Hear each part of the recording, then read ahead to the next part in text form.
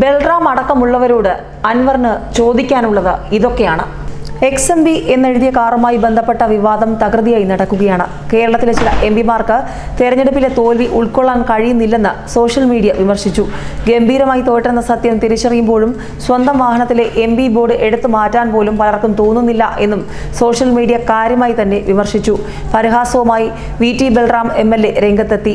Communist പാർട്ടിയുടെ നേതാക്കൾ പ്രത്യേകിച്ചും താരതമ്യേന പുതിയ തലമുറയിൽപ്പെട്ടവർ എത്രത്തോളം പാർലമെന്ററി വ്യാമോഹങ്ങൾക്ക് അടിമപ്പെട്ടവരാണ് എന്ന് തെളിയിക്കുന്നതാണ് തിരഞ്ഞെടുപ്പിൽ തോറ്റമ്പിയ പല തോറ്റ എം പിമാരുടെയും അതിനുശേഷമുള്ള രോദനങ്ങളും പ്രവർത്തികളുമെന്ന് ബൽറാം വിമർശിച്ചു.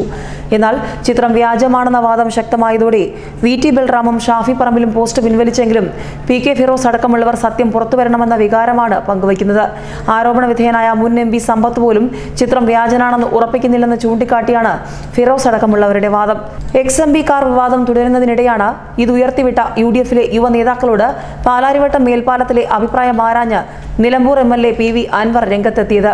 ഒരു വാഹനത്തിലെ നിരുപദ്രവകരമായ ബോർഡിനേക്കാൾ എത്രയോ ഗൗരവമേറിയ വിഷയമാണ് പാലാരിവട്ടം മേൽപ്പാടത്തെ സംബന്ധിച്ചുള്ളതെന്ന് ചൂണ്ടിക്കാട്ടിയ അൻവർ പൊതുജനങ്ങൾക്ക് ജീവഹാനി വരെ സംഭവിക്കാമായിരുന്ന ഇത്ര ഗുരുതരമായ പ്രശ്നത്തെ സംബന്ധിച്ച് V T Balram Shafi Parambil P K Firos എന്നിവർ എന്തുകൊണ്ടാണ് ഇതുവരെ പ്രതികരിക്കാത്തതെന്നും ചോദിച്ചു.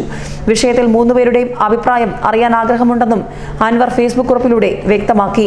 അൻവറിന്റെ ഫേസ്ബുക്ക് പോസ്റ്റ് ഇങ്ങനെയാണ്.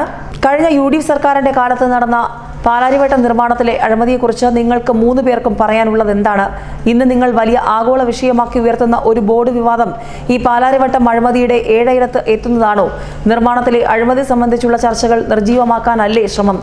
ഈ വിഷയത്തിൽ പ്രതികരിക്കുന്നതിനായി നിങ്ങൾക്ക് വിലക്കുകൾ നിലവിലുണ്ടോ? മറുപടി പ്രതീക്ഷിച്ചുകൊണ്ട് നിർത്തുന്നു എന്നാണ് അൻവർ ഫേസ്ബുക്കിൽ കുറിച്ചത്. അതേസമയം സമ്പത്തിന്റെ വാഹനത്തിലെ ചുവന്ന ബോർഡിനെതിരെ സോഷ്യൽ മീഡിയയിൽ വ്യാപക ട്രോളുകൾ ഇറങ്ങി. വാഹനങ്ങളിൽ ചുവന്ന ബോർഡും ബീക്കൺ ലൈറ്റും ഘടിപ്പിക്കുന്നതിൽ കർശന നിയന്ത്രണം ഏർപ്പെടുത്തി ഗതാഗത കമ്മീഷണർ നേരത്തെ ഉത്തരവിറക്കിയിരുന്നു. മാർച്ച് ചെയ്യുന്നത് മോട്ടോർ വാഹന ചട്ടങ്ങളുടെയും ഉത്തരവുകളുടെയും കോടതി വിധികളുടെയും ലംഘനമായതിനാൽ ഇത്തരം വാഹനങ്ങൾ തടഞ്ഞു നിർത്തി പരിശോധിക്കുകയും തുടർ നടപടി സ്വീകരിക്കുകയും ചെയ്യുമെന്നും ഗതാഗത കമ്മീഷണർ മുൻപ് വ്യക്തമാക്കിയിരുന്നു.